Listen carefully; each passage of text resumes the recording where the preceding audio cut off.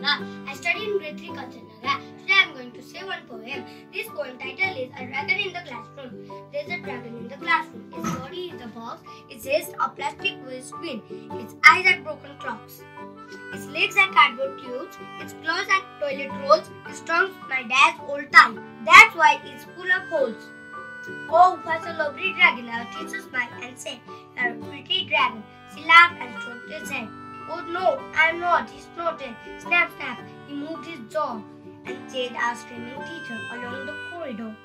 Written by Charles Thomson. Thank you.